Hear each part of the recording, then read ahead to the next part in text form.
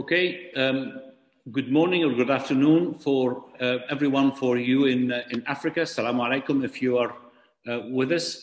It's my great pleasure to have um, uh, this meeting along with all the friends from Africa for the first Diabetes and Ramadan event. Uh, I'm delighted that we have a very rich faculty for today, and I'm delighted to have the introduction with my friend um, Dr. John Manguero, the, the president for the IDF uh, region. Uh, John, welcome on board. Good afternoon, good morning, good uh, evening to everyone in the meeting here. Diabetes and Ramadan, and what we are looking at guidelines, and uh, definitely this is an important topic because most of our patients really have been, been in trouble because they don't know how to use their insulin during uh, during the fasting period, the nutrition, what they should eat, what and uh, while fasting, the do's and don'ts, and to make life uh, their life very uh, comfortable during fasting so that we do not have uh, untoward effects of the fasting in our diabetic patients. And we have uh, this special people in this group, those with other underlying conditions and we bring after. So let me introduce the program uh, for everyone. Today we have we yes. start with the IDF uh, and DAR work for the dissemination of the guidelines. We're delighted to have this workshop, uh, which is supported by Sanofi and Servier, and we're delighted to have a, a short video introduction by Professor Andrew Boulton, the president of the IDF, as well as uh, Professor Akhtar Hussain, the chair-elect for the IDF region. So um, I would ask the organizers to pl please play the video message sent to us by Professor Andrew Boulton. Hello, and it's uh, my great pleasure to welcome you to this workshop on diabetes and Ramadan. My name is Andrew Boulton, uh, President of the International Diabetes Federation, and I'm delighted to say that I've been involved with this project really from its inception. Uh, the first international meeting of the Diabetes and Ramadan Group was held here in my city of Manchester at the Islamic Heritage Centre of the UK back in 2013 when I addressed that meeting as President of the European Association for the Study of Diabetes. But since 2016, International Diabetes Federation has worked very closely with the Diabetes and Ramadan International Alliance to deliver comprehensive guidelines on diabetes and Ramadan. These are designed to help healthcare professionals advise and support those living with diabetes who wish to fast during the holy month of Ramadan. Patient education is, of course, critical to managing diabetes during this period. Educational needs need to be delivered in advance, so today's workshop is indeed timely. Providing education before Ramadan allows for any questions and concerns to be raised and addressed. These guidelines are, of course, of global relevance we believe that there are probably around 500 million people living with diabetes across the world today. And this figure is set, sadly, to rise. The dramatic rise will be seen in many areas of the world with large Muslim populations, including some of our regions, Sub-Saharan Africa, Southeast Asia, and the Middle East and North African region. Because a large number of people choose to fast during Ramadan, there is a significant need for coherent and evidence-based practical guidance to help them and the healthcare professionals who support them to ensure a safe and healthy fast. As healthcare professionals, we need to understand the potential risks involved in fasting for those under our care. And we need to be well informed so we can deliver the latest evidence-based guidance on medication, glucose monitoring, nutrition, and exercise during this period. This second edition of the International Diabetes Federation and Diabetes and, and Ramadan Practical Guidelines aims to address these needs by providing the healthcare professionals across the world with latest evidence-based uh, recommendations. It is my sincere hope and the sincere hope of all of us at IDF that these will contribute to supporting people with diabetes to safely and successfully participate in Ramadan should they choose so to do. On behalf of IDF, I really wish to thank my good friend and colleague Mohammed Hassanein from the United Arab Emirates for his tireless work throughout these years and in the editing of the guidelines and the distinguished team that he has gathered with him. I should also like to mention my friend and President-elect, uh, Professor Akhtar Hussain, for his work done in overseeing this project on behalf of IDF. Naturally, none of this could occur without our friends and partners in both Sanofi and Servier for their generous support in making this possible. And of course, I wish to thank you, the participants, for taking part in today's online workshop. Thank you. I'm Professor Akhtar Hussain, President-elect of the International Diabetes Federation and Chair of the IDF Working Group on Diabetes Education. It is my great pleasure to welcome you all to this workshop. Fasting during Ramadan is very important practice for millions of Muslims around the world, but can have a major impact on the management of diabetes. While evidence is limited, some studies clearly show that many people living with diabetes choose to fast. The epidemiology of diabetes and Ramadan, EPIDIAR study performed in 2010-1 found that about 43% of people with type 1 diabetes and about 79% of those with type 2 diabetes fasted for at least 15 days during Ramadan. Similarly, the 2010 CREED study reported that close to 95% participants with type 2 diabetes fasted for at least 15 days and approaching about 65% fasted during the whole month of Holy Ramadan. So we know that people with diabetes will want to fast. However, we also know that an estimated one in three people with diabetes do not receive the education they need to fast safely. We are here today to help address this shortfall.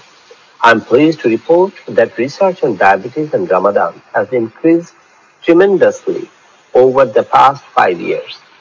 However, there are still areas where further research will require to improve our understanding and answer some key questions. This can be what, for example, the most effective methods of providing Ramadan-focused education in different populations. What are the best possible nutrition plans for people with diabetes seeking to fast during Ramadan? And how can this be adapted for different regions across the world, will advances in treatments and technologies help bring us closer to safe management while fasting. For people on insulin therapy who fast during Ramadan, what is the most appropriate type of regimen of insulin? I think we all can agree that diabetes self-management education and support is essential for safe fasting Ramadan. For this reason, the International Diabetes Federation and Diabetes Ramadan International Alliance have come together to raise awareness of the risks associated with diabetes and fasting and deliver the best available advice for health professionals. And this is why we are making the content available to the global diabetes community. In follow-up to the latest guidance you will hear today we recommend you to visit IDF School of Diabetes website to learn more and access a dedicated free course on diabetes and Ramadan. Thank you all, and I wish you a very successful workshop. Thank, many thanks for the President and the President-elect of the IDF for their kind introduction for the workshop. As I mentioned, today we have a rich program. The first session is the IDF Darun workshop and then which is, as I mentioned earlier, sponsored by Sanofi and Servier. And then the second part will be some clinical cases for the program Train the Trainer, which is supported by Sanofi. I'm delighted to have a, a very rich faculty with me um, for this program. We have uh, Dr. Khadija Hafid, a very good friend of mine working with us. Um, we work together in the same place and she's from Tanzania. We have uh, Dr. Ibrahim Gezawa from Nigeria.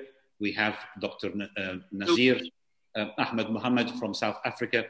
And um, uh, uh, that will every one of us will present one case and then we'll have a panel discussion. Um, and I would like to ask Dr. Khadija to join me for the um, welcoming everyone for the program. Salam alaikum, good afternoon and good evening. It gives me a real great pleasure to be part of this uh, program. And um, it's an honor to be working with Professor Mohammed Hassanein, who has tirelessly um, worked to get this program um, on, onto fruition. Um, we've worked closely together to make sure that we can also uh, reach out to other healthcare providers in, um, in Africa. And so today, having put together this esteemed faculty, um, I would like to um, welcome Professor Hassanein to give us the first uh, talk um, and he's going to elaborate on the new changes um, that have occurred with the updated uh, guidelines and the risk scoring system. So, Mohammed, the floor is yours. So, now for the first session of the IDF DAR workshop uh, regarding the benefits and the risks of fasting, the risk scoring, and the pre Ramadan assessment. So, as, as we start, I would like to acknowledge the co-authors of, this of these um, relevant chapters as this discussion covers three chapters from the IDF DAR guidelines. Of course, you can download all the guidelines through the website of IDF or DAR. We all know that Ramadan, from a religious perspective, for Muslims, it's really quite an important month. It's a holy month where the Quran was revealed to the Prophet Muhammad we also know that Muslims are deeply passionate about fasting Ramadan as one of the main five pillars of Islam.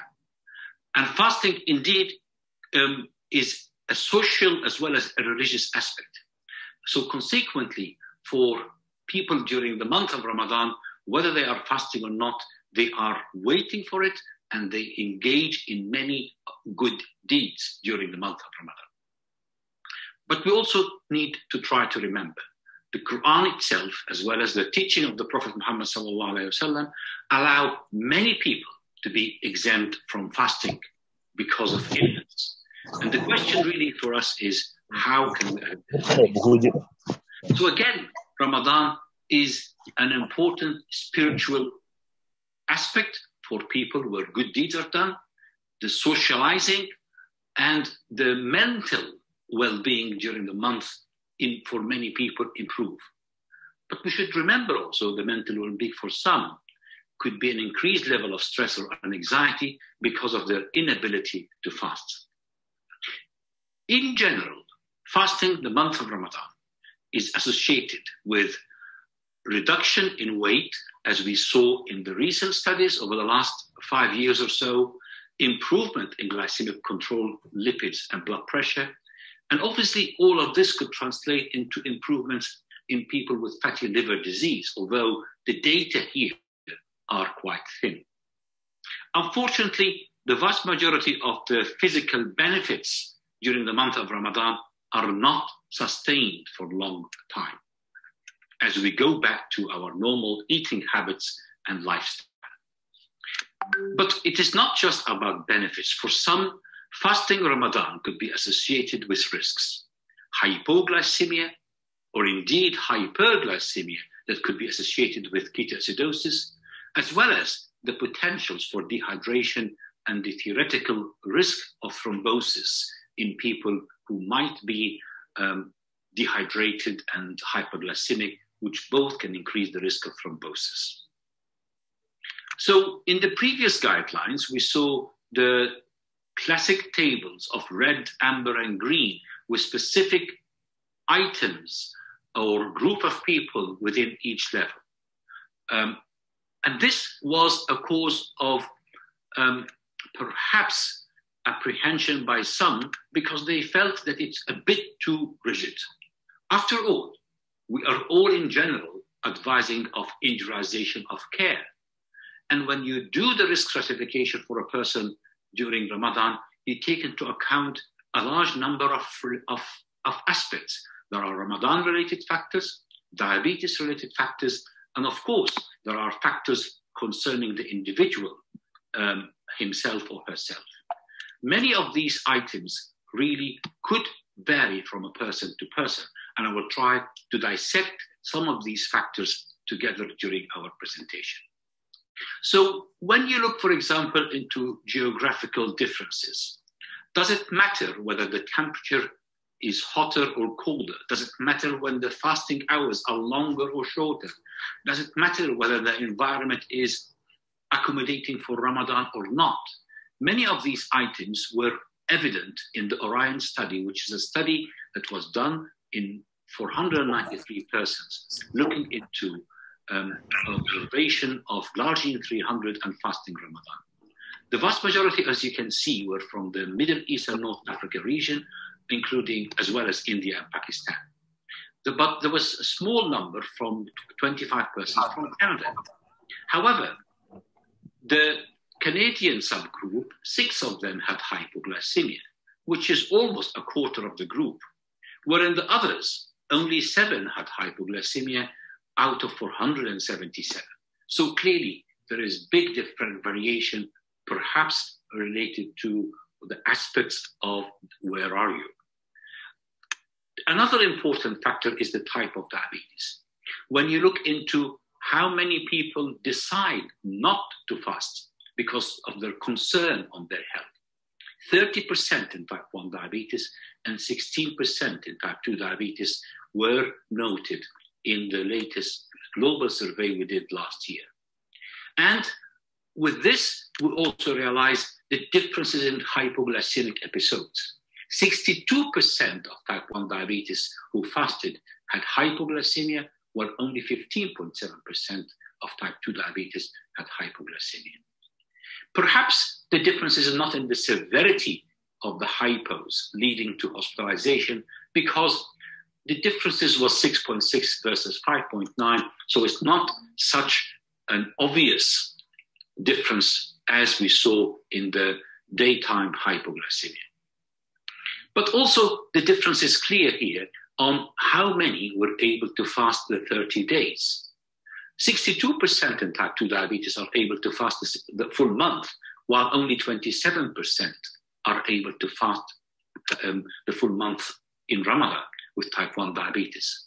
But that is important for us to remember because it is more or less is the glass half empty or half full. So I can simply say to you that 30% of people with type 1 diabetes did not fast. But on the other hand, I can say to you 27% of type 1 fasted the full month with no hypoglycemia. So it is clear to me that not all people with type 1 can fast, and not all people with type 2 diabetes can fast. There are many who are unable, and it varies based on a number of factors which we need to consider when we do our risk scoring. In type 2 diabetes, the variations in therapy is quite big, from oral therapy to oral therapy with insulin to insulin only. And indeed, for oral therapy, some of it includes sulfonylurea and some of it does not include sulfonylurea. And that means that we need to think of the type of therapy and within not just the class, within what within the class that is causing the hypoglycemia. Another very important factor is the individual own risk of having hypoglycemia.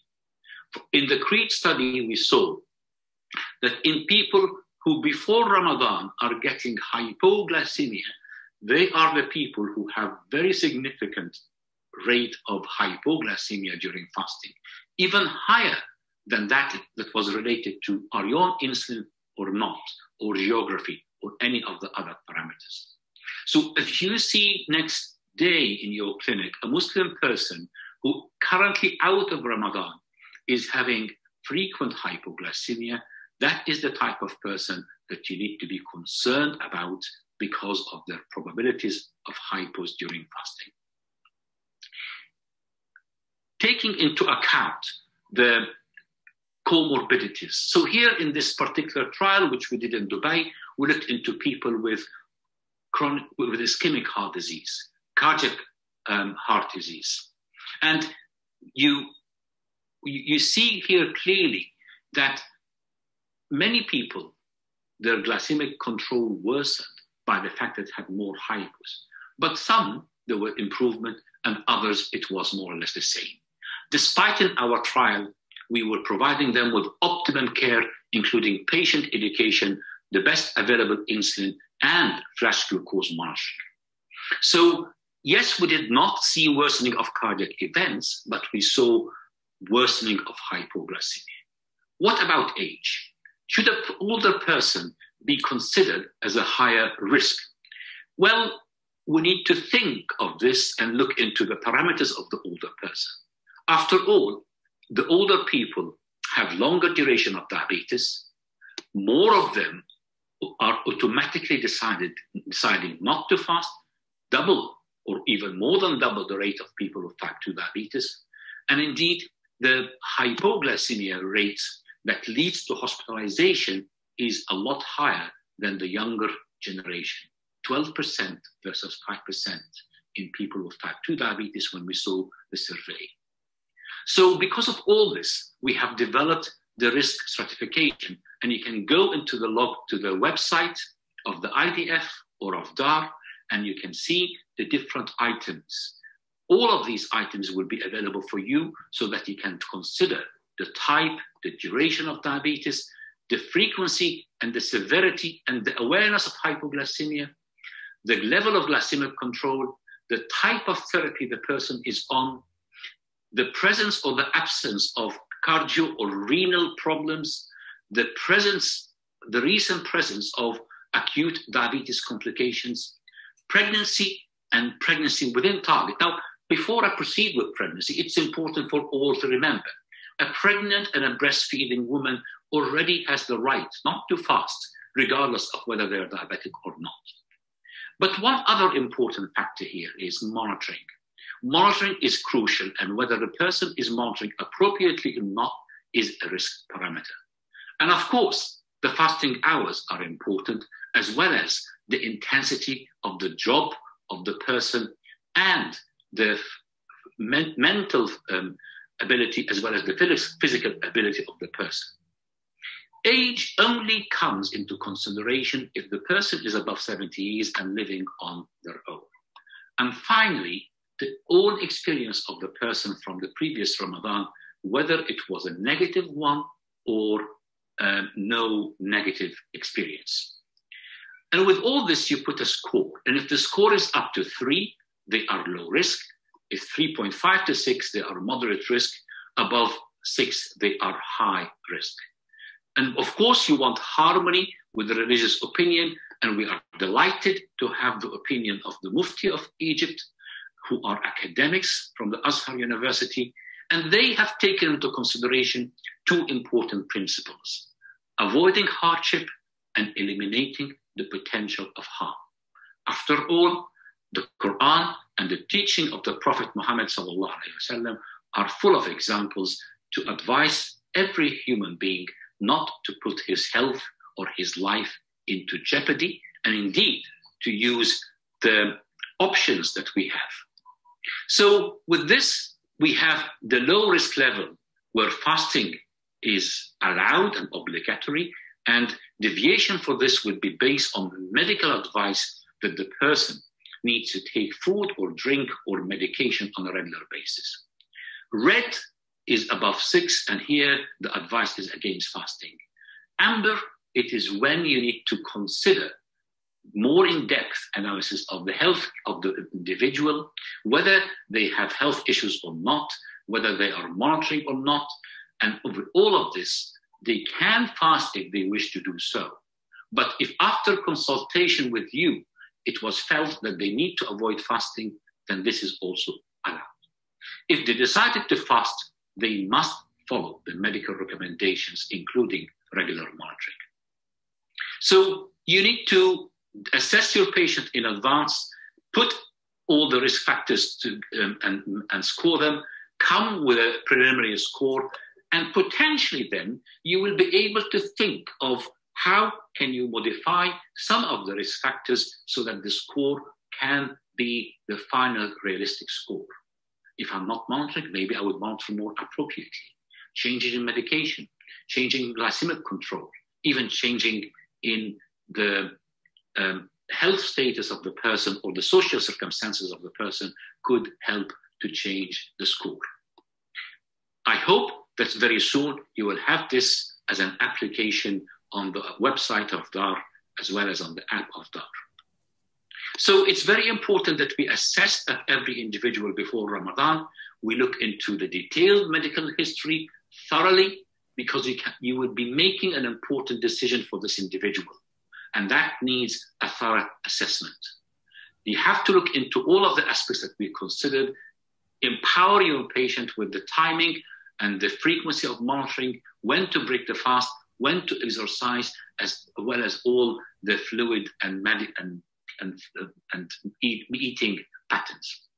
Education is key, not just for us as healthcare professionals, as we are doing now, but you also need to think of the general public, specifically community leaders, the media people, and the religious community, who are very important. Because if they're saying an advice that is opposite to what you're doing, then probably the patient will be very confused and potentially would listen to the religious authorities. But after all, the most important target for education is our patients and their families and their caregivers. Education works, and the meta analysis are showing us that glycemic control for people who attend education in Ramadan has a positive impact. So we need to allow our patients to attend for education, and perhaps the education in this time with COVID could be virtual, to look into the risk of fasting, the modification of treatment, the monitoring, the nutrition, the physical activity, the overall management of the individual, and the advice on when to break the fast. Monitoring is really crucial. We are not saying that every person should check seven times, but we are saying that we need a comprehensive approach. The frequency and the timing will vary according to all the parameters that you have decided. So this will be an important aspect. But don't forget that late afternoon to Maghrib time, to evening time, is the time with the highest rates of hypoglycemia. So regular checking there can prevent the hypos or can allow the person to break the fast if they are hypoglycemic, and of course, will empower them with information to dose adjust. But it's, it's an opportunity as well to let the people with diabetes remember what are the symptoms of hypo and hyperglycemia. If they feel these symptoms, even without checking, they need to stop the fast. Of course, stopping the fast when a person is during acute illness is uh, standard advice. Education could be in a different formats as well, and you will see that we have with the IDF and collaboration of DAR a module that people, healthcare professionals can log in and can answer, which will provide very excellent information. And indeed, you can have information, as I mentioned, through the DAR application or the website. So, in summary, fasting during the month of Ramadan is a religious obligation for all healthy adults. However, the Islamic regulations include plenty of exemptions that include person with illness. We, as physicians and healthcare professionals, need to quantify for the risks and stratify every single individual according to the different clinical parameters. With the correct guidance, many people will be able to fast safely. But if they do so, they need to be under close supervision and be aware of all the risks. The guidelines, with the new guidelines, are providing us with a unique risk stratification that has the agreement of the Mufti of Egypt, which is one of the highest religious authorities in a modest country such as Egypt. Individuals who fast against medical advice need to be listening to the expert advice and trying to apply them as much as possible. And of course, pre Ramadan assessment and education is an essential I hope you benefit from this um, presentation and will, I look forward to your questions and answers later. So, once again, Dr. Hassanein, thank you so much for that great introduction and comprehensive overview on the latest updates uh, in the guideline for fasting in Ramadan. So I would like to introduce um, our next uh, speaker for the day, and it's uh, Dr. Ibrahim Gezawa, who's an associate professor of medicine at the Department of Medicine and College of Health Sciences at Bayero University, Kano. He's also an honorary consultant physician and endocrinologist in the Department of Medicine of the affiliate of the Aminu Kano Teaching Hospital. He's a member of many professional uh, associations, a passionate teacher, a researcher, and mentor, and has been involved in the past decade in educating healthcare professionals, in guiding persons living with diabetes on how to safely fast during Ramadan. So he's going to take us through the nuts and bolts, the practical considerations for uh, type 2 diabetes management with a specific focus on oral hypoglycemic agents and the GLP 1 receptor agonists. Dr. Ibrahim, the floor is all yours. Thank you very much, Dr. Khadija. Uh, I want to thank uh, Dr. Hassanein and the uh, organizers of this meeting for inviting me uh, to make this presentation. So in the next couple of minutes, I'm going to be talking about practical considerations uh, for the management of type 2 diabetes, uh, fasting during uh, Ramadan, focusing on the anti-diabetic agents as well as on uh, nutrition as earlier mentioned. This is to acknowledge the contribution of uh, the underlisted colleagues to the corresponding chapter in the uh, full version of the IDF guideline. Now, we mentioned a lot about uh, patient education and uh, pre-Ramadan uh, assessment. And as uh, Dr. Hassan mentioned, uh, we need to also educate individuals on the issue of uh, nutrition because we do know that Ramadan is associated with a number of health issues. And many of these are due to improper dietary habits uh, which patients with type 2 diabetes fasting during Ramadan tend to indulge in. This may include the consumption of unusually large meals uh, at iftar, which may be in excess of uh, 1,500 calories. This, of course, will lead to hyperglycemia and weight gain. Uh, another uh, improper dietary habit is uh, consumption of large amounts of highly processed carbohydrate and sugar uh, at iftar or between iftar and suhoor, that is the pre-dawn uh, meal. And then others include sugary desserts, large and frequent uh, snacks, you know, occasionally uh, you have uh, patients eating too quickly, which may actually lead to overeating. So all of these uh, combined will lead to hyperglycemia and weight gain during Ramadan.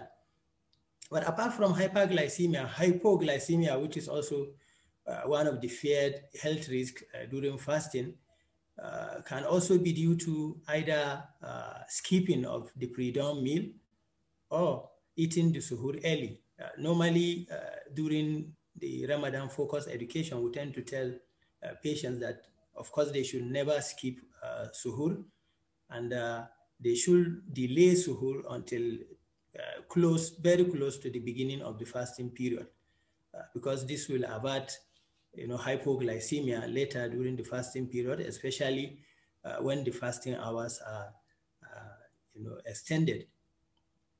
Another important uh, behavioral factor that may uh, increase uh, the health risk associated with Ramadan uh, is you know, changes in uh, physical activity as well as the sleeping pattern. This may actually alter uh, you know, metabolism of you know, carbohydrate and may lead to hyperglycemia. Now, uh, a lot has been said about pre-Ramadan assessment. And uh, here I'm just going to look at uh, some of the important points that we need to take into consideration especially as far as nutrition and complications of diabetes are concerned. The pre-Ramadan assessment actually, uh, you know, should seek to guide patients on medical nutrition therapy because this will go a long way in improving glycemic control. The Ramadan nutrition plan is uh, uh, an important tool, you know, in doing that, uh, and it's available online. It's an online tool that can be used, you know, to guide patients in this regard. And so, uh, as I mentioned earlier on, uh, we need to educate patients on uh, the issue of gorging or overeating or compensatory eating, as it were, which may all lead to uh, hyperglycemia, as we, we mentioned earlier. And then uh, during the pre-Ramadan assessment also, we need uh, to provide information to the patients on how to prevent dehydration as well as other diabetes-related complications. Of course, we, we need to uh, advise the patient to take a lot of fluid, especially uh, during the non-fasting hours. And nutrition plan uh, must be individualized to the particular patient uh, in order to reduce feelings of lethargy and lack of energy. Of course, uh, Ramadan uh, provides an opportunity for patients, especially those that are overweight, to lose weight. So we need to help patients in this regard, you know, to advise them on how, how they could achieve uh, that goal. I'm going to talk about that uh, in this slide. So uh, what this slide shows is uh, the caloric target and ideal carbohydrate distribution for Ramadan meals. So uh, you will see at the uh, top left of your, your screen, emails. males, you know, depending on what we want to achieve, whether weight maintenance or weight reduction, the recommended uh, daily calorie uh, should be between uh, 1,800 to 2,200 kilocalories. While for weight reduction, uh, we need to maintain uh, the calorie intake at uh, for females, of course, it's dependent on, on their height. And of course, women that are taller than 150 cm for weight maintenance will require 1,500 to 2,000 kilocalories, while for weight reduction, uh, you know, a total daily calorie of 1,500 is recommended.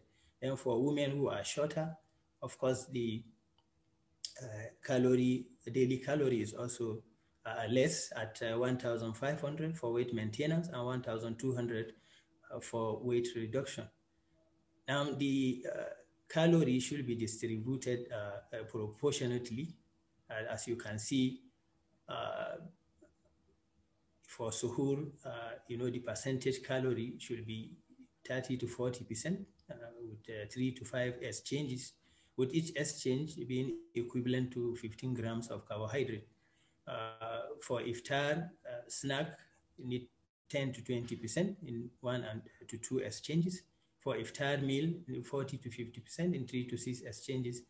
And then, of course, if necessary, uh, healthy snacks can also be taken, uh, but they should constitute uh, 10 to 20% and should be in uh, one to two exchanges in order to, you know, spread uh, the calories uh, evenly and to avoid unnecessary postprandial hyperglycemia, which will occur. Now, the, the Ramadan nutrition plate method is another tool that can be used to uh, actually uh, give an estimate of the amount of calorie, uh, you know, per meal that a patient could actually consume. In fact, I am aware that there is an ongoing attempt to actually improve on this the nutrition plan uh, plate method online, whereby you know, when a patient decides on what to eat, he could just click on his plate and then uh, and then uh, provide information on the particular meal he wants, and that the uh, the software will provide the number of calories so that the patient will be able to estimate, you know, the amount of calorie that he or she is taking.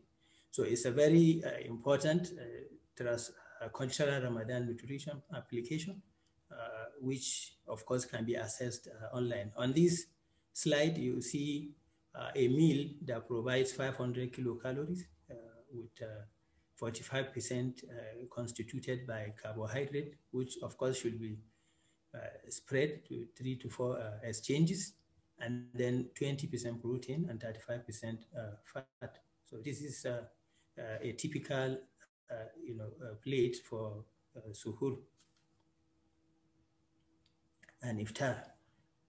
Now, I earlier on mentioned the Ramadan nutrition plan, which is a global resource and it's online. So on these, you have a number of countries. Uh, for these countries, you have uh, their specific uh, menus.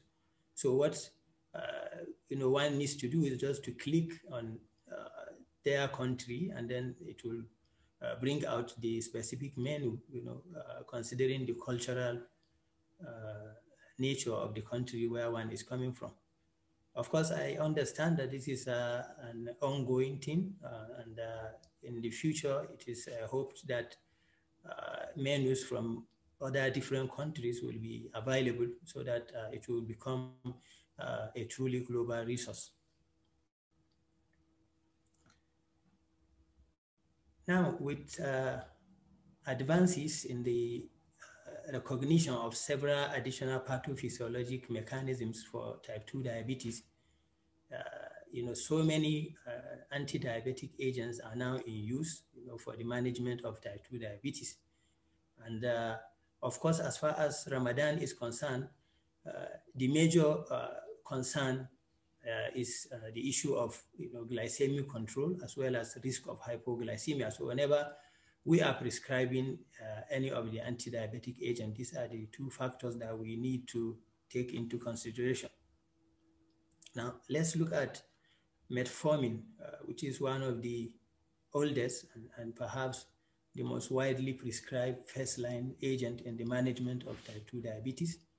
And uh, unfortunately, not many RCTs have been conducted uh, in patient fasting during Ramadan on metformin.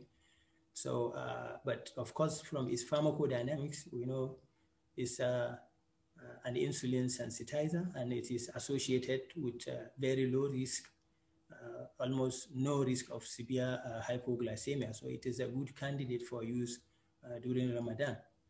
So how do you adjust, you know, the doses of metformin in a patient fasting during Ramadan? Of course, if the we, we have two formulations of uh, metformin, you have the immediate uh, release uh, metformin and the modified release or prolonged release metformin. So uh, for patients on once daily uh, dosing of immediate release metformin, usually no dose uh, modification is required and the dose should be taken at iftar. For those on twice daily, again, no dose modification is required, but the doses should be taken at iftar and at suhoor. Uh, patients on three times daily dosing, uh, them the morning dose should be taken before the pre-dawn meal or the suhoor, uh, while the uh, afternoon dose is combined with the dose taken at uh, iftar. For prolonged release metformin, usually no dose modification is usually required and the drug should be taken at iftar. Now, acarbose is another agent that is uh, widely used and uh, it is uh, well uh, associated with uh, lower risk of hypoglycemia than many other other agents. And, but of course, it has lower efficacy than compared with metformin. And a major limitation for its use is the GIT, gastrointestinal side effects that is associated with it, especially uh, flatulence. And uh, again, just like metformin, not many uh, randomized control trials have been conducted on acarbose in people that are fasting during Ramadan. So, but uh, all the same, if a patient is on, on this agent, then no dose modification is actually considered necessary. Not, it's not associated with uh, risk of hypoglycemia. Now, the thiazolidinediones are another group of agents, and among them, the most uh, widely approved for the management of type 2 diabetes, of course, is pioglitazone. Uh, know, although there are limited data on uh, the use of pioglitazone uh, during Ramadan, but we do know that it is uh, associated with low risk of hypoglycemia, and uh, we presume that there wouldn't be any dose modification that is required. Now, uh, one study that involved 86 uh, participants that were fasting during Ramadan and taking pioglitazone uh, compared this agent with uh, placebo as add-on to background of metformin. And what the researchers found was that, of course, pioglitazone improved glycemic control and both in the early, mid, as well as post-Ramadan periods and it was also associated with lower risk of hypoglycemia. However, uh, the use of pioglitazone was associated with a significant uh, you know, increase in weight of about 3 kg uh, compared to a, a non-significant decrease in weight in the placebo group. Now, a word of caution uh, concerning the use of uh, pioglitazone is the fact that uh, it should not be started close to Ramadan because uh, we do know that, uh, you know, uh, it takes close to three months for pioglitazone to actually establish its full anti-hyperglycemic effect. So it should be prescribed long before Ramadan. So the DPP-4 uh, inhibitors, okay, excuse me, Sorry, let's now look at the short-acting insulin secretagogues. Yeah, we are talking about uh, the postprandial glucose regulators like uh, repaglinide and uh, and uh, nateglinide. Of course, repaglinide, uh, you know, is given up to three times uh, daily, and uh, so if, of course, it is used in the management of diabetes in patients that are fasting, of course it should be uh, reduced or redistributed to two doses uh, during Ramadan uh, according to the meal sizes of the patient. And of course, because it has a very low risk of hypoglycemia, no dose modification is usually required during Ramadan. Now, uh, the, the DPP-4 inhibitors, uh, we have many that are currently available, and uh, like many other uh, anti-diabetics, of course, DPP-4 inhibitors are associated with lower risk of hypoglycemia, and uh, ordinarily they do not require treatment modifications. There are uh, several uh, studies that have been conducted uh, with DPP-4 used during Ramadan. one of the RCTs that was conducted by Hassanein and colleagues in 2014 uh, that involved uh, 557 participants from uh, several countries, including the Middle East, Europe, and Asia. Vildagliptin was used and uh, compared with uh, sulfonylurea as add-on to metformin. And what was found that uh, there were fewer hypoglycemic events in the vildagliptin group compared with the uh, sulfonylurea group. In this case, uh, gliclazide was used. And of course, there were no significant differences in glycemic control and weight changes uh, between the two groups. So indicating that uh, both uh, vildagliptin and pioglitazone are, are effective in uh, uh, lowering uh, blood glucose in the setting of Ramadan, and they do not cause any significant uh, weight changes. So again, sulfonylureas in another study were uh, compared, uh, you know, uh, taking into consideration the fact that, you know, the risk of hypoglycemia with sulfonylureas actually varies between agents. So they were compared uh, in, in this study by Aravind and colleagues in 2011. And uh, in this study, uh, almost 1,278 participants uh, were involved. And uh, uh, so the sulfonylureas were used as add-on to metformin. So, and at the end of the day, of course, what the researchers found was that gliclazide was associated with fewer hypoglycemic events compared with the other uh, sulfonylureas. So again, talking about sulfonylureas, uh, we mentioned earlier on where DPP-4 was uh, compared with gliclazide. Now, uh, another study, uh, fairly recent by Hassan and colleagues, you know, uh, use uh, gliclazide modified release in uh, 1,214 patients. It was a real world observational trial with many countries involved.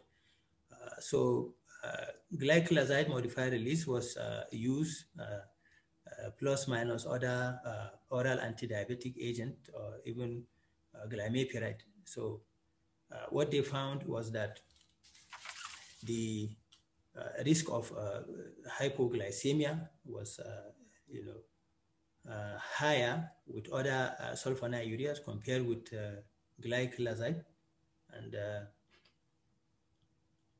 and so and of course in terms of glycemic control, also glycemic levels were, you know, lower in, with gliclazide compared with the other agents uh, body weights uh, were seen also to decrease by about half uh, a kilogram in the gliclazide MR group compared with the other sulfonylureas.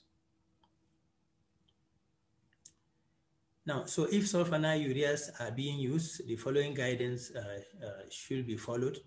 So if a patient is on once daily dosing, uh, that dose should be taken at iftar. But in individuals that are well controlled, blood glucose levels, uh, with well-controlled blood glucose level, the dose may actually be reduced.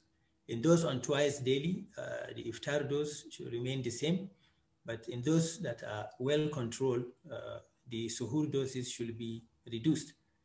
Uh, older drugs in the sulfonylurea class are actually not recommended because of the uh, high risk of hypoglycemia that is associated with them. Now, the sodium uh, glucose transporter 2 inhibitors are other uh, uh very uh, important uh, anti-diabetic agents that have actually been used for some time now, and they've demonstrated effective improvement in glycemic control as well as weight loss.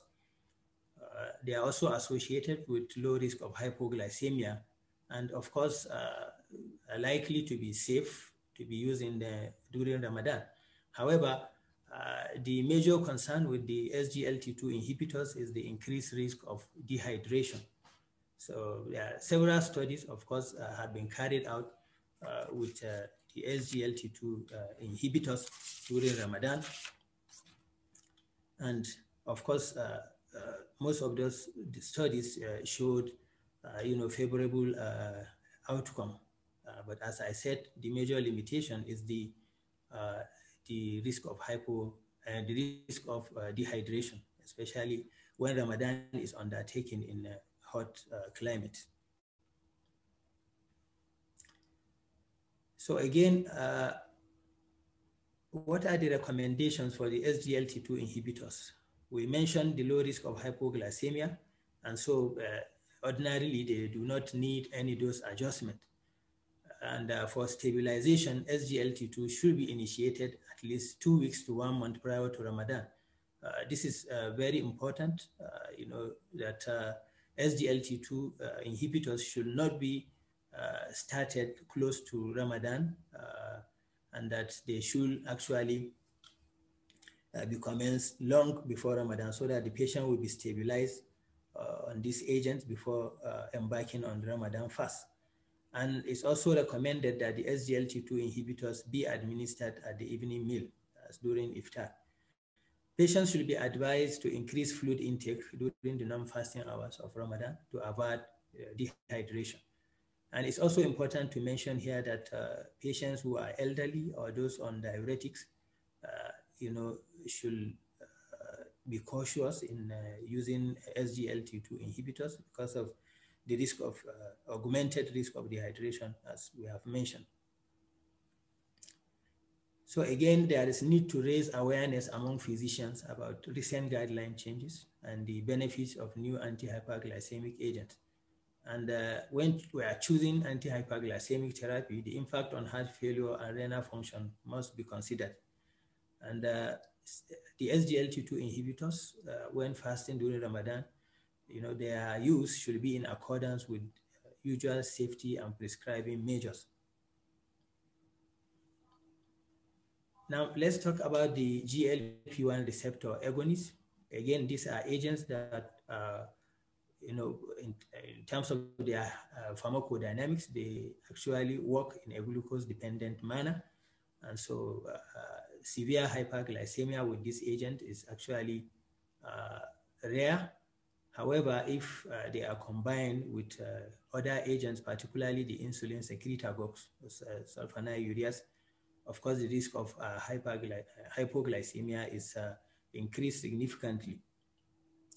There are uh, a few studies that have been conducted uh, on uh, the use of GLP-1 receptor agonists during uh, Ramadan fast. And one of them, of course, is the, the Elixir study, which was an open label randomized study involving 184 participants with insufficiently controlled type 2 diabetes who intended to actually fast during Ramadan. So uh, what the uh, research has found was that lixisenatide as add-on to basal insulin versus sulfonylurea with either basal insulin and one oral glucose lowering agent, uh, there were fewer symptomatic uh, hypoglycemic events in the lixisenatide uh, group compared with the sulfonylurea group.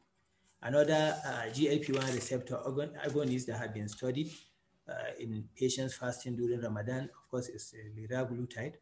So in the Lira Ramadan study that was conducted in Africa and Asia, which was a randomized study in which participants were switched to either liraglutide or to continue uh, sulfonylurea, both as add-on to metformin. So the primary endpoint there was change in fructosamine, uh, which gives uh, uh, us an uh, account of intermediate you know, glycemic control. So the change in fructosamine from the beginning to the end of Ramadan was the primary endpoint. So what the, uh, what the uh, researchers found was that there were similar uh, fructosamine reduction in both the liraglutide as well as the the sulfonylurea urea arm. And then in this same study, also, you know, there are better weight control and fewer hypo episodes in the liraglutide group compared with the sulfonylurea group. So, uh, well, the only thing about GLP-1 receptor agonists is that we have newer agents uh, such as dulaglutide, albiglutide, which have not been uh, studied well in persons uh, fasting during Ramadan with type 2 diabetes. So uh, as far as the uh, adjustments in, in dosages uh, is concerned, because of the risk, the low risk of hypoglycemia with GLP-1 receptor agonists, of course, they can actually, they are good candidates for use in Ramadan. However, their use actually should not be immediately or close to Ramadan.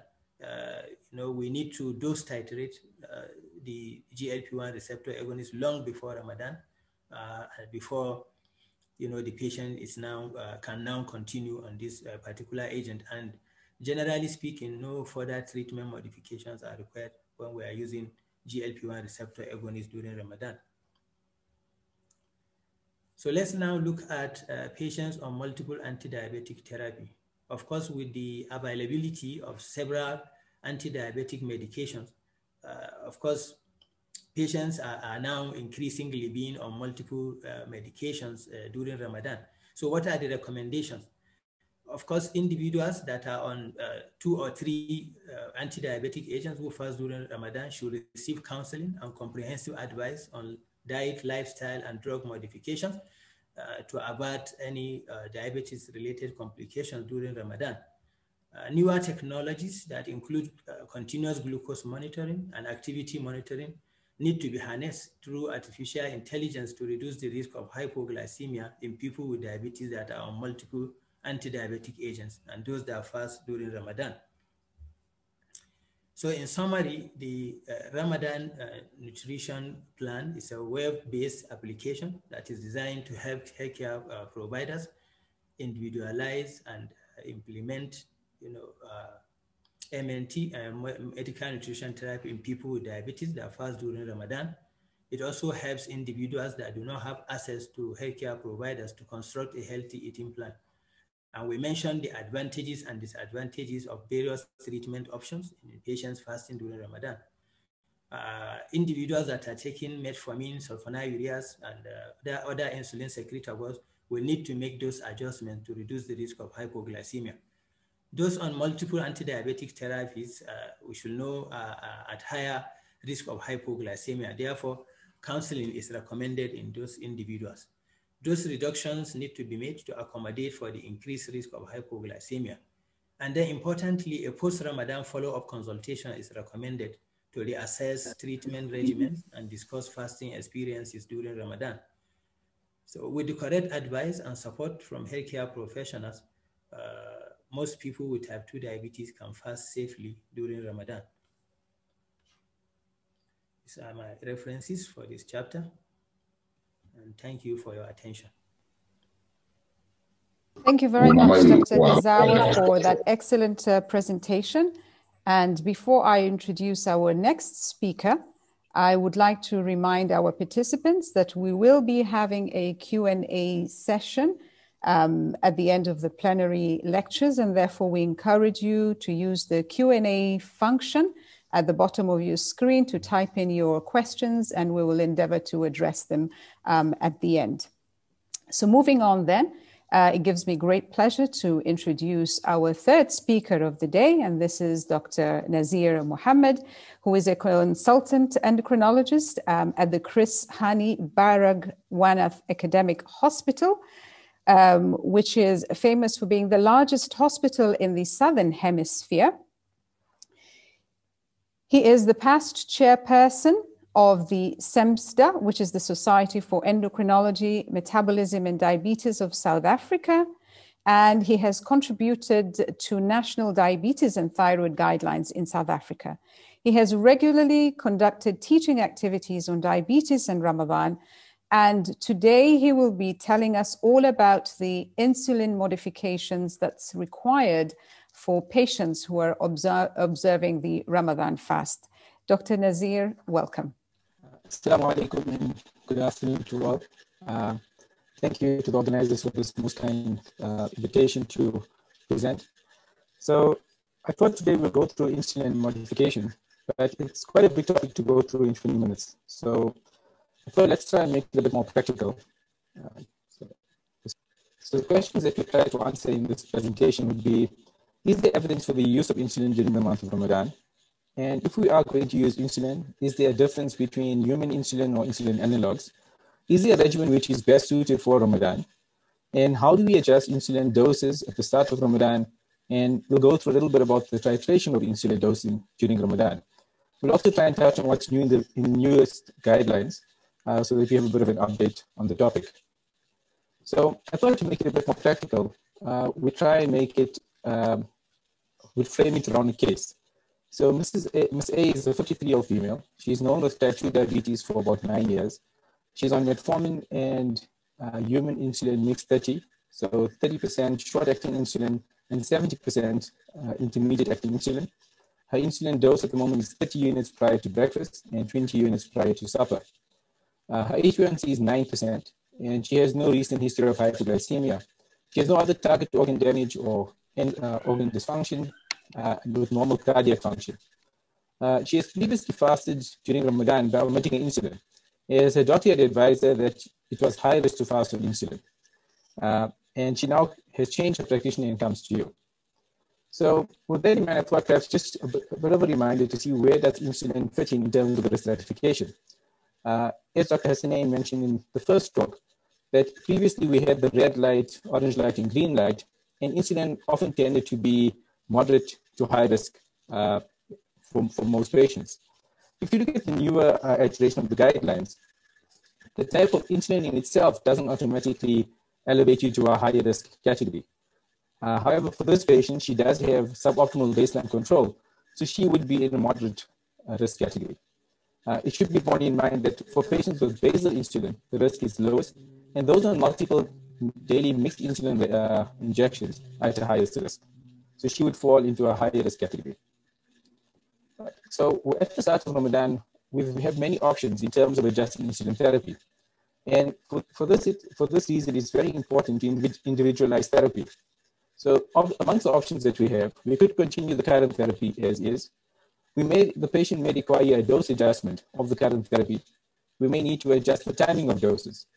For example, you may have a patient who have, you have two patients on exactly the same dose of insulin, but the one's practicing Ramadan is to have a very large suhoor or morning meal that's, uh, that has rice and a very high carbohydrate load, whereas another patient may opt to just have a cup of tea uh, and a bit of fruit. So you, you may have very different modifications that are required, and that is why it's important to individualize therapy. In terms of, we may also consider changing to a different drug. So perhaps we may consider that this patient's uh, risk factor profile is too high on basal insulin, and there may be other options. Uh, so we could try, and we'll come to some of those. We may change a different combination of drugs and try and bring in some of the more, some more of the oral drugs that uh, the previous speaker has alluded to or we could change to a different form of the current therapy. We, instead of using a low ratio pre-mixed insulin, we could try and move to a 50-50 mixed insulin. So where 50% will be short acting and 50% will be intermediate acting. So these are some of the options that we have for this patient. Uh, specifically, we could adjust the doses and the timing of the doses. We could consider adding a GLP-1 receptor agonist. We could consider splitting her to basal insulin uh, with prandial insulin or uh, a combination of the above. So before we proceed, I thought just a few practical considerations. That we often may do a risk stratification, and we may assess a patient is having a very high risk of fasting. And we may tell the patient that they should not fast. But as we, we are all well aware that for many patients, uh, the urge and the yearning to fast often uh, exceeds or overwhelms any other consideration. And therefore, they will, they will fast irrespective of their risk le- uh, level, as well as the advice of their physicians.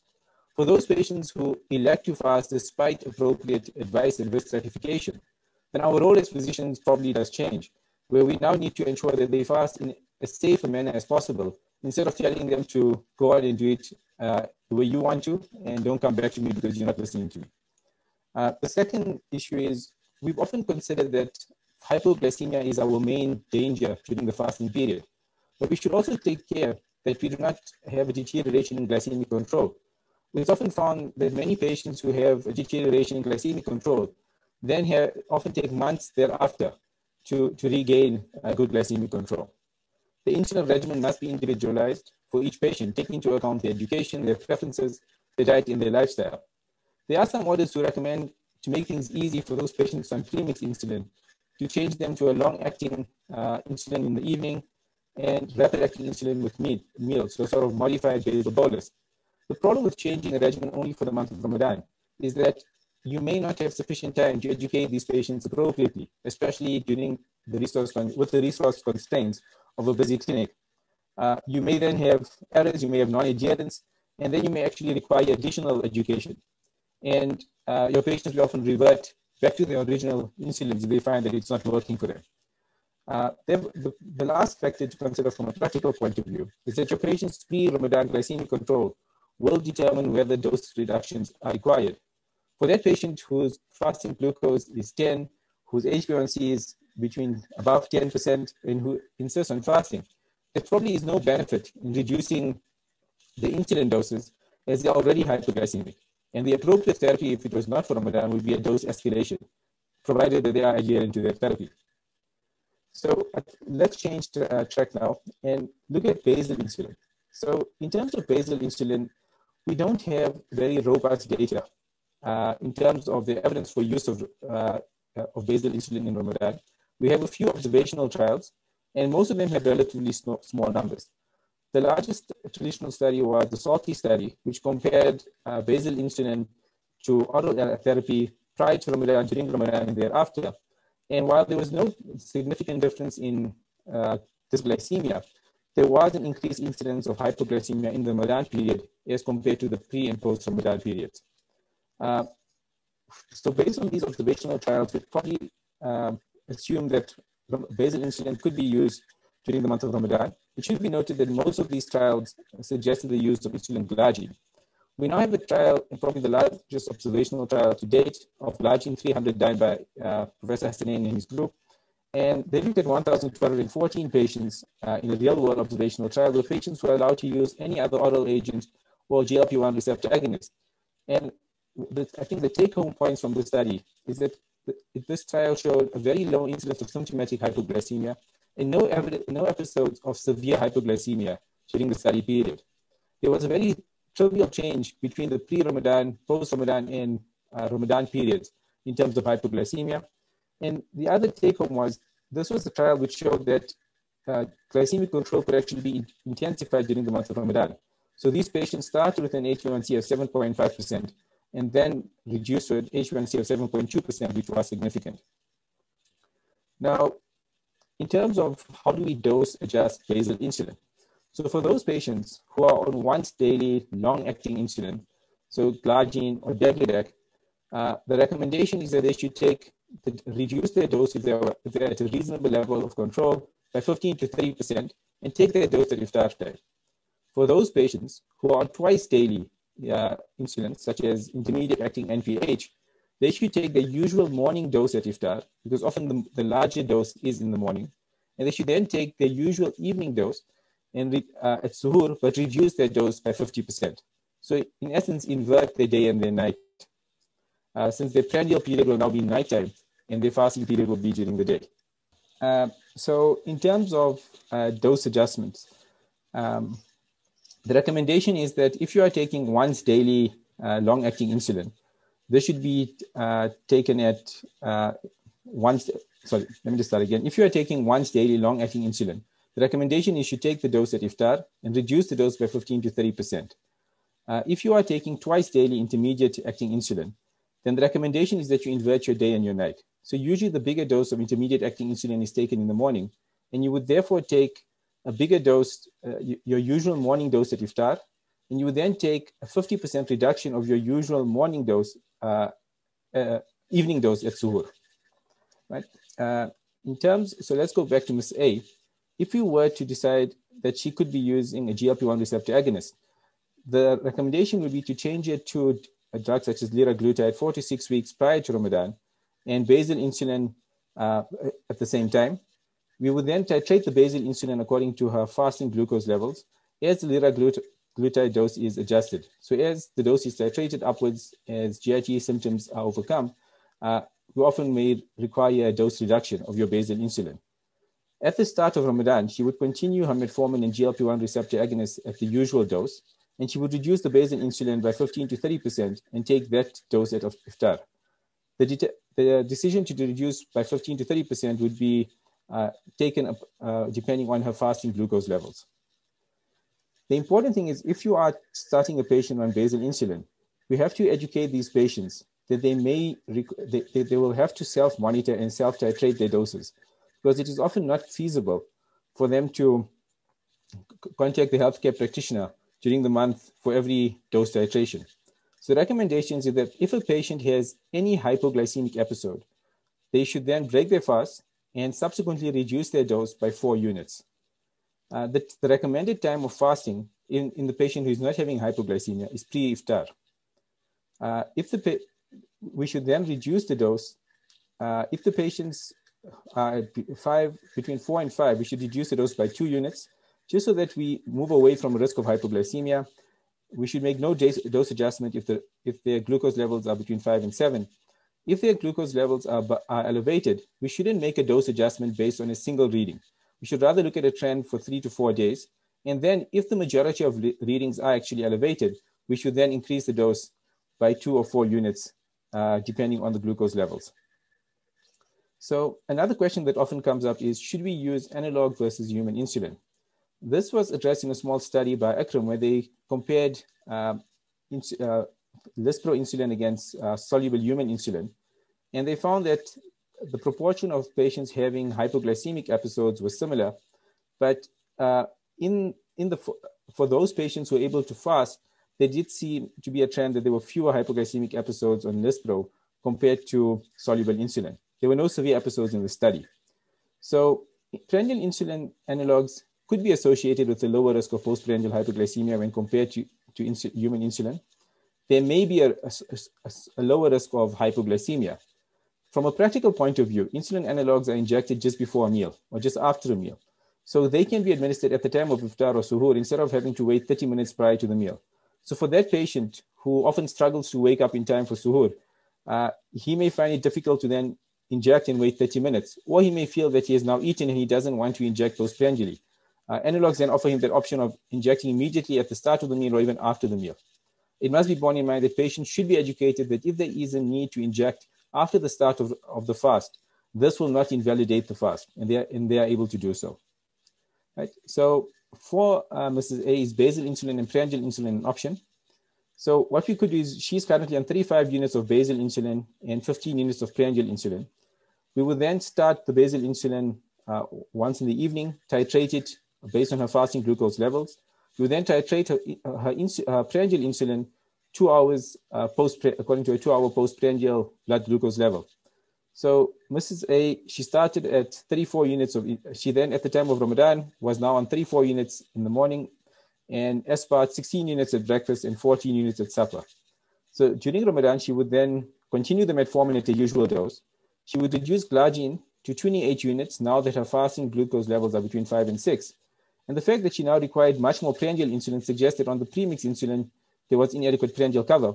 For her, we would now reduce the aspart to 8 units at suhoor and continue with 14 units at iftar. Once again, it's important that uh, these patients should do, uh, be educated on self-titration and self-monitoring. Uh, the recommended time is two hours post-suhoor and once again, if there are any hypoglycemic episodes, there should be immediate cessation of the fast, and the patient should then reduce their dose by four units. The rest of the titration model is very similar to the, the scale that we use for basal insulin. And the aim is then to keep patients in that range of five to seven.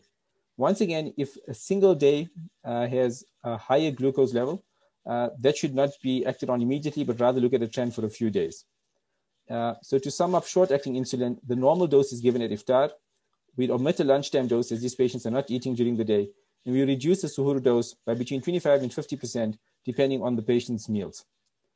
Uh, the commonest insulin that we that are used uh, in many countries is premix insulin, and this is usually a low ratio premix, where 25 to 30% are short or rapid acting insulin, and 70 to 75% are intermediate acting insulins. So this would be your Humalogs, your Novomix, uh, your Actraphanes. The challenge with low ratio premix insulin is that they may provide inadequate prandial cover in the evening, further results in postprandial hyperglycemia. The doses of prandial insulin cannot be adjusted independently, and this leads to a risk of both postprandial hyper and hypoglycemia after suhoor. So if that patient is having a very heavy meal, uh, he may have hypoglycemia, and for that patient who's not eating sufficient, he's unable to adjust his prandial insulin without causing a deterioration in his fasting glucose either. So the options that have been proposed is you use a higher ratio premix insulin at iftar. So this has been studied in a few studies where they've looked at uh, premix uh, 50. So where 50% is short acting and 50% intermediate acting at iftar, and either a basal insulin only or the usual uh, premix 30, where 30% is short acting at iftar. And this does seem to be an, a valid option for those patients who are willing to change the regimen for the month of Ramadan. An alternate option is what you alluded to previously, is you could then change the patients to either basal plus prandial, either just for the largest meal of the day, or basal plus a GLP-1 receptor agonist with or without other agents. In terms of an update, we now have a trial from Hassanein et al., which looked at IDegAsp or Ryzodeg, uh, which has 70% insulin degludec, an ultra long-acting insulin, and 30% uh, short-acting or rapid-acting insulin. And this trial showed that in 263 patients that it can be used safely during the month of Ramadan with a statistically lower incidence of overall hypoglycemia. And that was probably driven by a more stable long-acting insulin, uh, which showed a 74% reduction in hypoglycemia.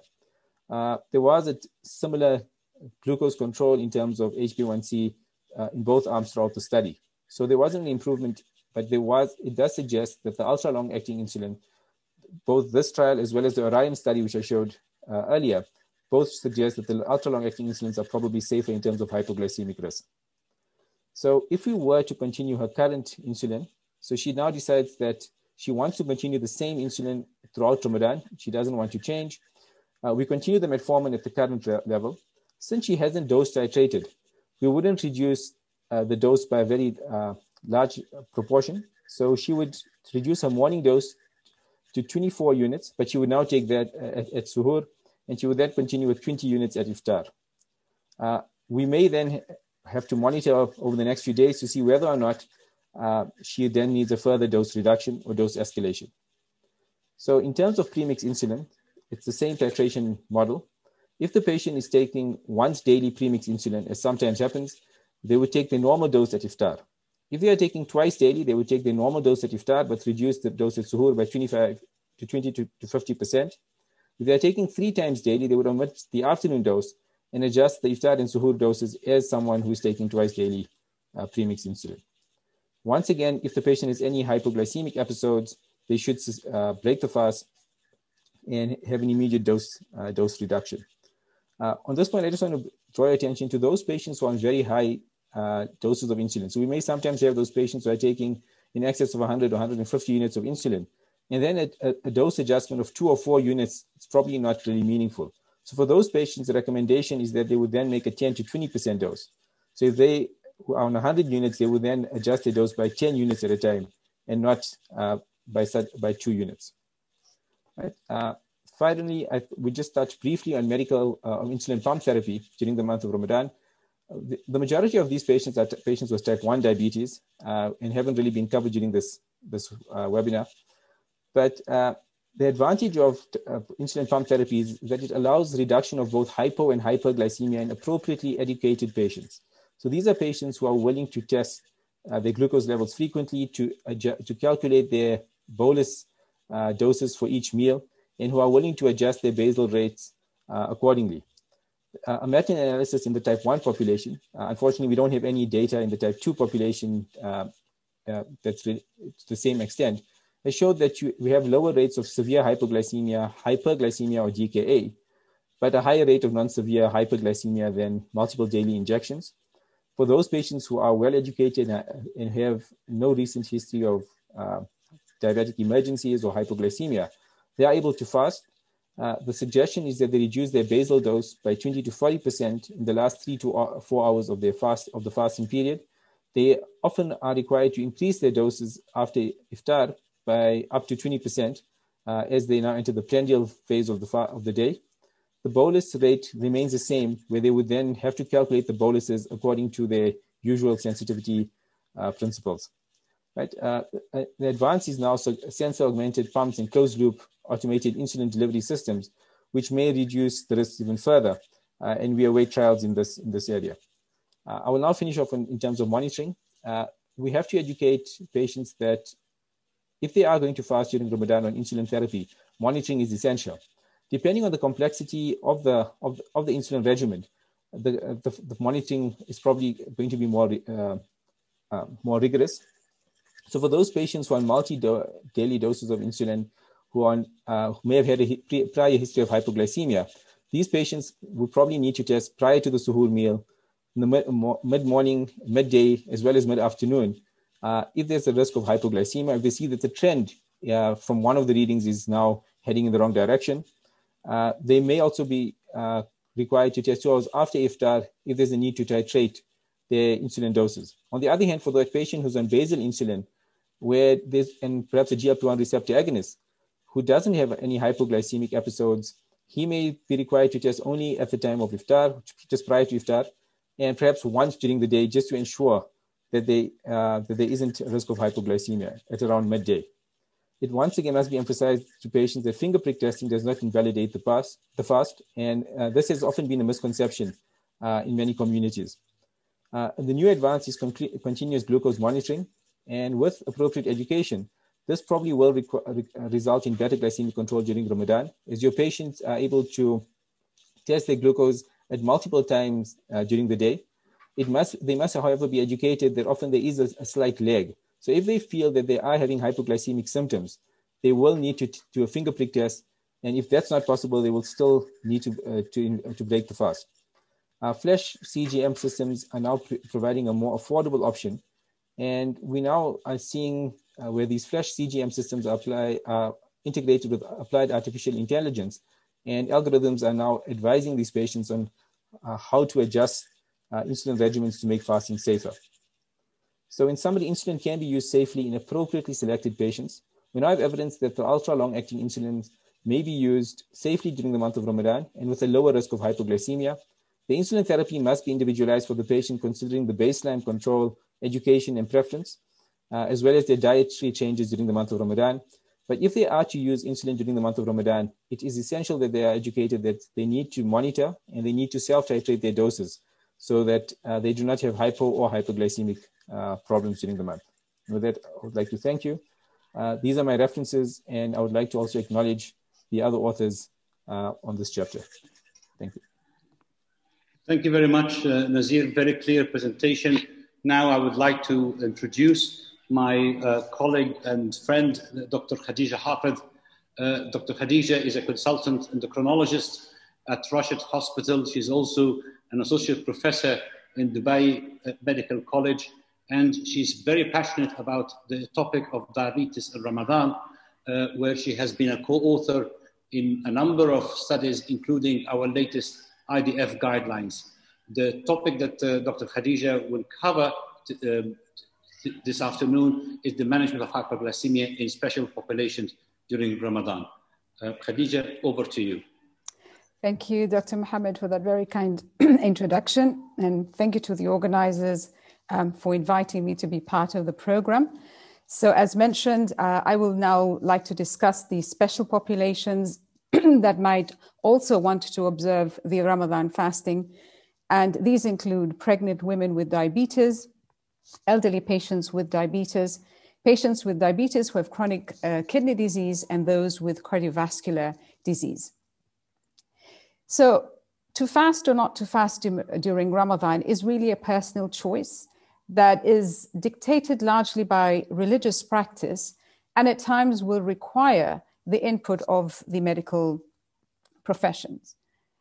So, how does the medical fraternity um, come to use, or how do we get involved in the uh, pre Ramadan education? It is essential for us first to determine whether the individual can safely fast and whether the um, fast will not further jeopardize their health conditions. We also know that not a lot of people receive such education, and therefore we want to encourage um, and make sure that we're offering um, patients that are eligible um, to, to be given the education well ahead of uh, Ramadan. An education program needs to be individualized and it should include the risks of fasting. And we've already um, heard from Dr. Hassanein the uh, new scoring method of assessing the risks for fasting for individuals with diabetes. We would then look at the treatment modifications, and you've heard a bit about that from Dr. Gezawa and Dr. Nazir. Um, we need to be able to discuss on self monitoring of blood glucose because if an individual is not able to undertake self monitoring, then the fasting is going to be quite dangerous for them. In light of that, they will then need to be informed and know when they have to break the fast and of course, we uh, need to also inform them about all the nutrition um, and physical activity um, changes that would need to be made specifically for Ramadan. So the risk score follows this traffic light system that you've uh, already heard, where the green is for the low risk, and usually that score is between zero to three. The amber is for the moderate risk. So these individuals um, can fast with some modifications, but are usually not advised to. And the high risk individuals, those who score above six, are the ones um, who should not fast. So let's look at the management of hyperglycemia in pregnancy um, when fasting during Ramadan. So, pregnant and breastfeeding women have a religious right not to fast, whether they have diabetes or not. And so, it's important to tell our pregnant women um, that they do have this temporary exemption. The pregnant women with pre-existing diabetes or gestational diabetes are considered a high risk group for fasting during Ramadan because of the potential for adverse outcomes, both in the mother and in the unborn child. And there are multiple factors that influence the risk assessment of pregnant women with hyperglycemia, and we will carefully review some of these. So, just as a reminder, we know that dysglycemia in pregnancy can result in adverse pregnancy outcomes. In the first trimester, it may lead to increased fetal malformations. And then in the second and third trimester, there may be increased risk for macrosomia and metabolic complications. So, what have we learned so far? In the past five years, there have been a number of studies that have been dedicated um, and looking at the um, management of gestational diabetes during Ramadan. Some of these studies have used continuous glucose monitoring and flash glucose monitoring systems, which has provided us with quite a lot of information about the glucose changes when fasting during Ramadan. What we've seen is that there's an overall improvement um, in the blood glucose levels. However, we still see that the postprandial blood glucose levels are frequently high. Episodes of hypoglycemia were remarkably longer in duration during uh, fasting hours, most of these episodes tended to be asymptomatic, and many of them would occur during the last few hours of fasting. So, despite the fact that we've seen some encouraging results, there still isn't enough evidence to change the high risk status of fasting during Ramadan for women with gestational diabetes. Important also to note that most of those studies were conducted on highly motivated volunteers in centers with very high skill of uh, with very high levels of skill and support, including the use of continuous and flash glucose monitoring systems alongside good patient education. So, the risk stratification tool, um, you've already seen this. And for pregnancy, if a pregnant lady is not within her blood glucose targets, then it's 6.5 and therefore should not be um, advised to fast. On the other hand, if they're within targets, it drops down to 3.5, and therefore it would fall in the amber category. And um, then there can be a discussion on whether they can be allowed to fast or not with the appropriate um, medical interventions. So, when we're thinking about the pre Ramadan assessment, it's essential to be done well ahead of Ramadan. And this is an opportunity to um, risk stratify them it's also an opportunity to talk about um, the changes to normal lifestyle that fasting can bring about, and those should be emphasized.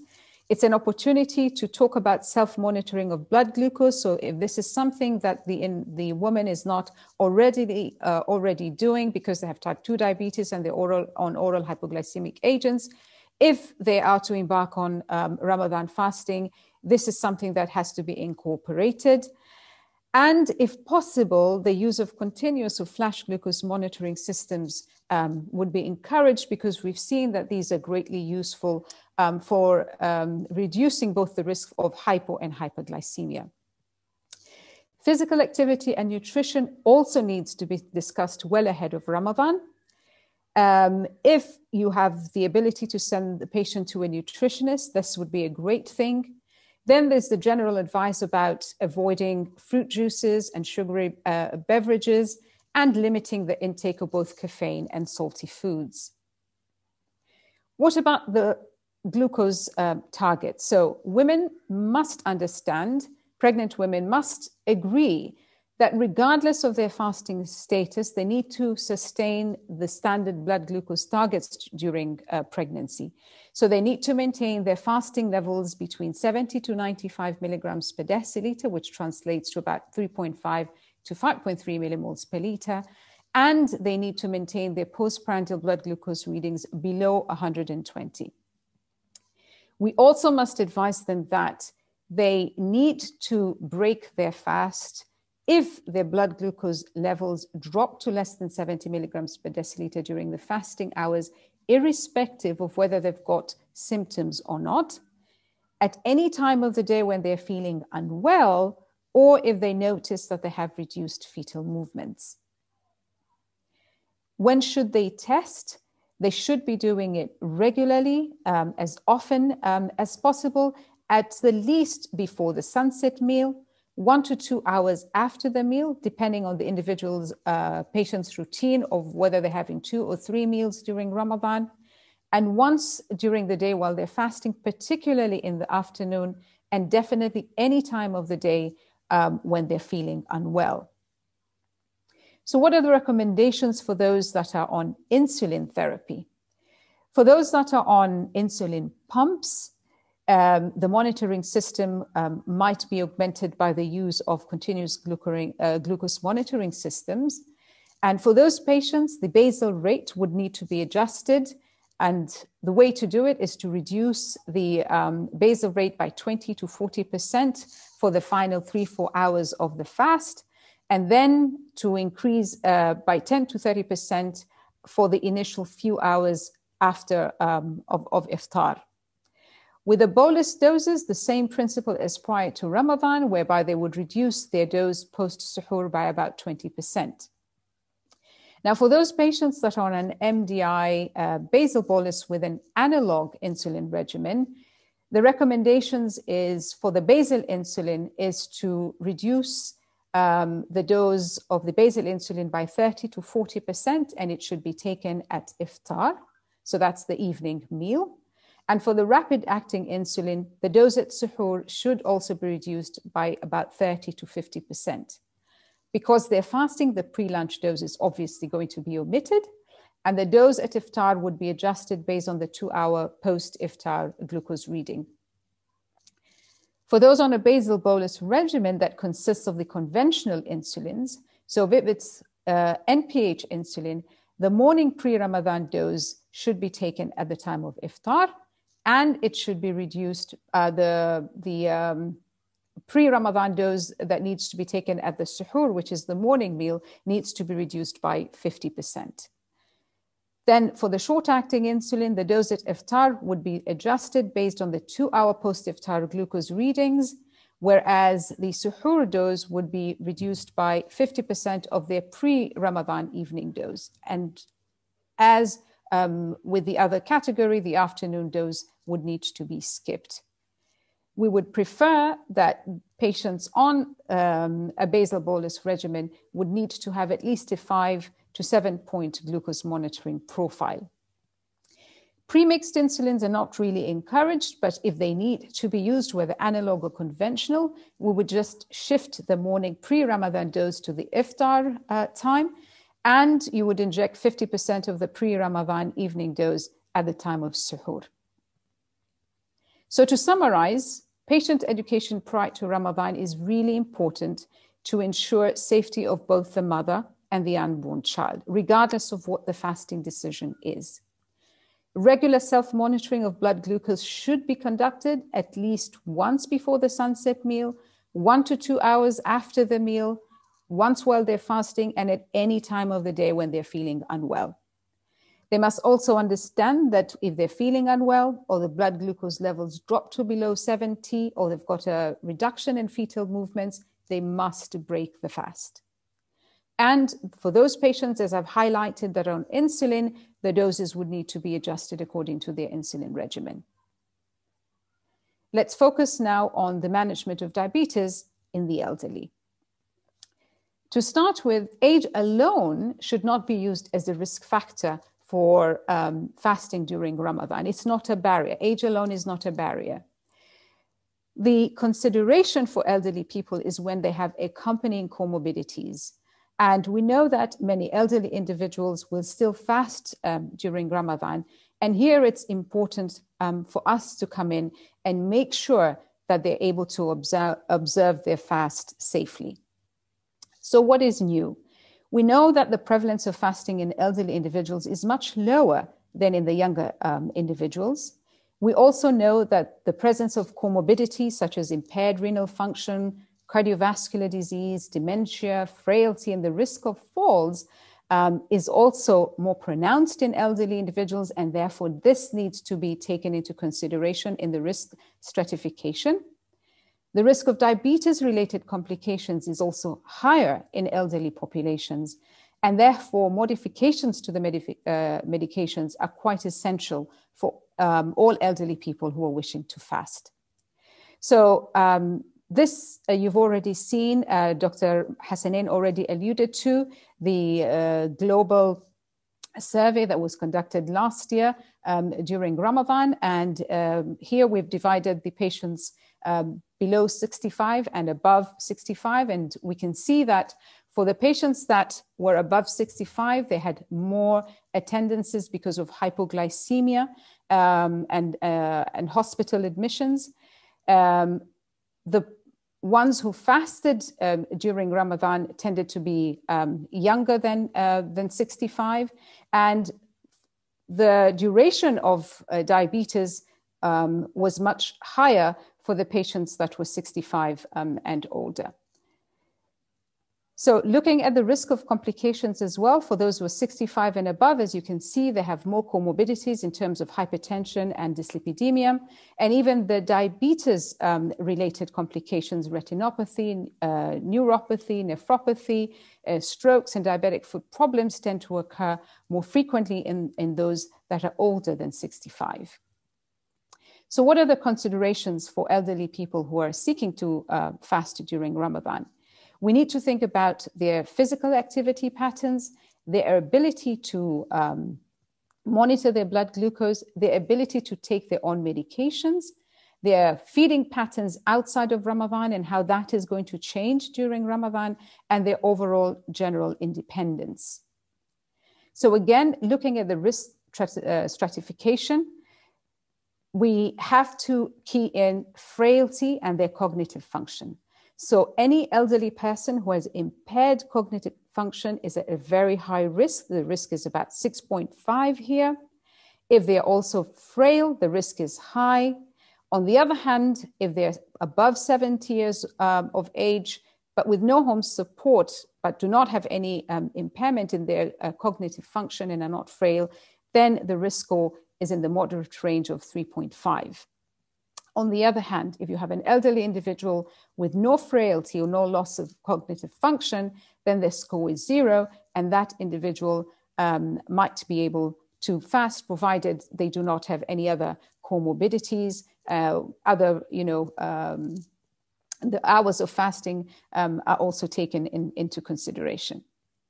So the tips then for in terms of the medications, it's important to choose medications that would lower uh, and minimize the risk for hypoglycemia. So um, careful adjustments have to be made in order to reduce the risk for hypoglycemia.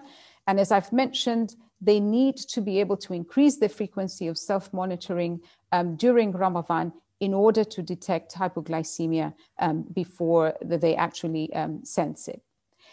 The other thing about the diet, of course, it's again going to be very individualized, but what's important is to make sure that they stay well hydrated during the non fasting hours. Um, the nutrients uh, that are taken while they are breaking the fast should also be um, discussed with the family who is probably, um, uh, or the caretaker who's preparing um, those meals. Physical activity might need to be reduced, but it doesn't need to be completely stopped during the fasting hours. But then these activities also should be planned um, uh, ahead of time, and they should be taken into um, conjunction with the nutrition plan and the medication regimens as well. The social considerations are also important. Those uh, elderly individuals who have community support would probably do much better and um, it's also um, important to tell them about um, their own sort of personal awareness of symptoms of hypo and hyperglycemia. If they're not able to recognize that, then that is a problem. Or at least if you've got, they've got the support of the family around who would be able to recognize that um, and intervene um, appropriately, that would be a great thing. So to summarize, We've seen that lower proportions of elderly individuals fast um, when compared to the uh, younger counterparts. Diabetes related complications such as hypoglycemia and hyperglycemia occur more frequently. Greater and more careful planning pre Ramadan is required for elderly individuals to ensure that they're able to fast safely. There must be a greater emphasis on self monitoring of blood glucose to ensure that um, they can observe the fast um, safely. And the use of anti diabetic agents must be adjusted so that the risk for hypoglycemia is reduced. What about patients with chronic kidney disease and cardiovascular disease? So, what we know that diabetes is a risk factor for cardiovascular disease and strokes. And individuals with pre existing cardiovascular disease or stroke and diabetes are at a greater risk for complications when they're fasting and therefore should be cautious. Individuals with chronic di- uh, kidney disease of stage 3 and diabetes are also at high risk for fasting during Ramadan. And certainly those with CKD stage four to five at a, at a very high risk for fasting and should be discouraged not to undertake the fasting. So previously, people with diabetes and CKD stage three were classified as high risk, and those in stage four or five were classified as very high risk. In the new stratification uh, tool, both are discouraged um, from fasting. So if we look at the stratification here for a patient who has chronic complications such as unstable angina, heart failure, or the EGFR is less than 30, we can see that the score is very high, it's 6.5. On the other hand, with an EGFR between 30 to 45, the score drops down to four. If they've got stable cardiovascular disease and the um, EGFR is between 45 to 60, the score drops down further to two. And if, got, if they have no cardiovascular disease and a normal EGFR, then the score is zero. So the recommendations for individuals with CKD, again, the assessment needs to be done well ahead of Ramadan. Individuals in stage three to five or on dialysis should be considered as very high risk and should be discouraged from fasting. For those who choose to fast, they need to be very carefully monitored and have weekly reviews during Ramadan. They must make a conscious effort to stay well hydrated outside of the fasting uh, hours. They would need to monitor both the electrolytes and creatinine levels at various points during Ramadan.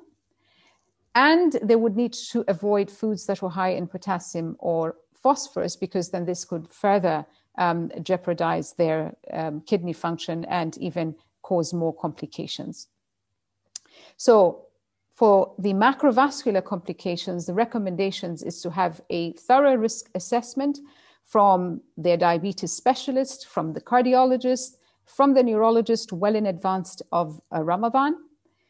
They need to have this individualized advice based on their current health status and their treatment regimens. They need to receive the pre Ramadan education so that they uh, understand how to conduct uh, the uh, fasting safely uh, during Ramadan. They need to make appropriate, uh, uh, appropriate adjustments in their therapies for, so for example, the diuretics, the antihypertensive um, agents, the antidiabetes medications, and the insulin regimens will all need to be adjusted well in advance um, of Ramadan in order to optimize them and allow them to fast safely during um, Ramadan. So, to summarize, then, Fasting during Ramadan with stable cardiovascular disease does not increase hospitalizations or worsening of the underlying heart condition. But further research is required for individuals with diabetes and pre existing cardiovascular disease in order for us to make specific recommendations to such individuals. Studies investigating the risks of fasting on stroke seem to be conflicting, and greater research is needed in these individuals with diabetes and pre existing stroke. Fasting during Ramadan with stable CKD or those who've undergone a kidney transplant doesn't increase the EGFR or cause any, uh, but may cause uh, transient biochemical uh, changes. This may also apply to individuals with diabetes, but again, we also need to have um, more research on individuals with pre existing diabetes and CKD. So, as I've mentioned earlier, those who've had a kidney transplant and have got CKD between stages of three to five are at very high risk and should be discouraged. If they are going to undertake fasting, they need to have careful monitoring and specialized tailored advice much ahead of Ramadan. We are in need of larger prospective studies, um, including randomized control uh, trials that will assess the effect of fasting individuals with diabetes who have complications on both the micro and the macrovascular um, systems. And with that, I'd like to um, acknowledge all the colleagues who were involved in the pregnancy chapter of the guideline, in the chapter on fasting in the elderly, and on the chapter of CKD and cardiovascular disease. Um, thank you all for your attention, and I look forward to taking your questions. And here are the references.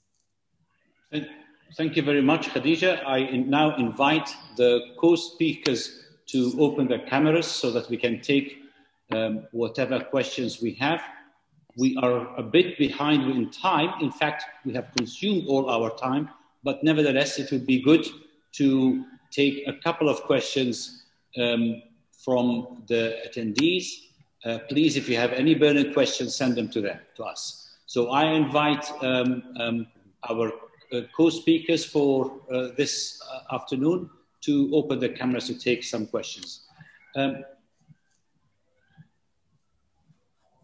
okay, so there's a question for you, Dr. Uh, Ibrahim, um, uh, regarding. This, the, the, the person is asking, in Ramadan, is there a need to switch, switch from glimepiride to gliclazide? Okay, um, thank you for that question. Uh, well, we need to uh, look at some of the attributes of the patient. I mentioned earlier on during my um, presentation that uh, gliclazide of all the other uh, sulfonylureas has a lower risk of hypoglycemia. So uh, if that patient, uh, you know, we think is at risk of uh, hypoglycemia, then it will be better to switch him uh, over to gliclazide uh, in order to maintain uh, the patient on glimepiride. Okay, um, I, I, concur with this. We unfortunately we don't have head-to-head studies in Ramadan. We had head-to-head studies out of Ramadan, but during Ramadan we don't have head-to-head studies. Um, the guidelines have put them both at a good level. Gliclazide have plenty of data. Glimepiride have some data as well, and both are at a a reduced risk of hypoglycemia. Nazir, there's a question for you regarding the basal insulin.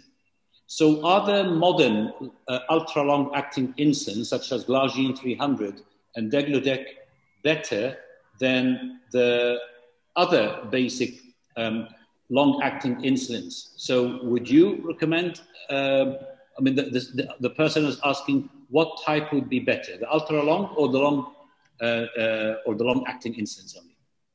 So if we look at the Orion study and the Ryzodec study, there is a suggestion that they would have lower risk of hypoglycemia with the ultra-long-acting insulins. Um, I mean, the Ryzodec is considered to have a bit more flexibility, so that may be an additional advantage for patients who are fasting in Ramadan. Uh, but for, the, for that patient who's able to fast and doesn't have a high hypoglycemic risk, there isn't a need to change them uh, all patients don't need to be changed to ultra long acting insulins. I think it's for that patient a higher hypoglycemic risk uh, where that is a concern. Thank you, Nazir. It's just a, a small point that obviously the Ryzodec was a, a, background of Degludec, but with aspart. So um, we would love to have a long, uh, a basal insulin um, um, study on pure Degludec. That will be, uh, will give us more clarity. Uh, there was a question earlier um, by uh, somebody to uh, Dr. Gezawa. The doctor was asking about the GI side effects of GLP 1 receptor agonists and if there were any special considerations during Ramadan. Perhaps we might want to address that. Yes. Yes. Uh, thank you very much. Uh, I, said in my presentation that the GLP-1 receptor agonist should not be commence very close to Ramadan. And one of the reasons is that we do know GLP-1 receptor agonists at the beginning may have, uh, you know, some GI side effects, you know, nausea and uh, so on. And uh, we need to, uh, and that is usually temporary, you know, after some time, you know, the, the patient ceases to have uh, that side effect. So that is why it is recommended that we stabilize the patient on the GLP-1 receptor agonist uh, long uh, before Ramadan. So, so there is consideration for that in terms of starting close to Ramadan because of that particular side effect. Thank you, Dr. Gezawa. There is a question to me regarding a patient on steroids causing hyperglycemia. I did answer on writing, but perhaps I can say the answer verbally as well. I think the guidelines will never be able to cater for all the clinical uh, scenarios. There's another question about a patient with TB. I think here you would need to, to look into your own clinical judgment on whether the patient is sick enough to advise not to fast or whether the condition is stable. So someone on steroids that take, normally would take the steroids at 8 a.m.